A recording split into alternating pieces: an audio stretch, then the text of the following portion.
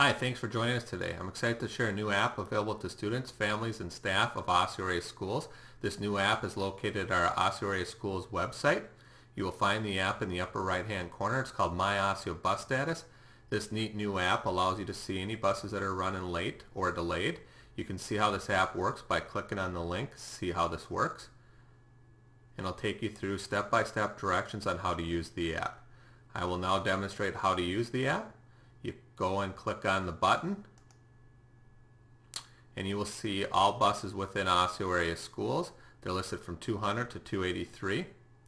And if you want to do a quick filter, it's nice and simple at the top. You can filter by bus number, you can select the school type, or you can select by school.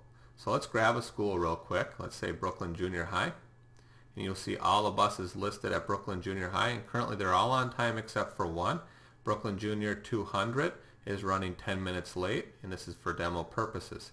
If I clear out the filter on Brooklyn Junior, I go to the top.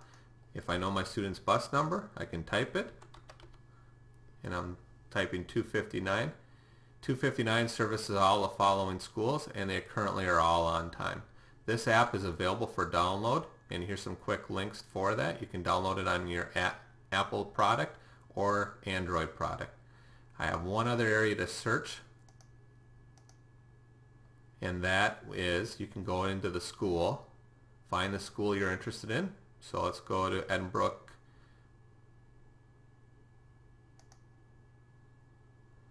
And when you're in Edinbrook's website, you will see that they also have the link here. Click on that. And that will show you all the buses that service Edinbrook and they're all on time. Hopefully this app's helpful for you. Reminder, make sure you always refresh your screen to see the latest information. Thank you.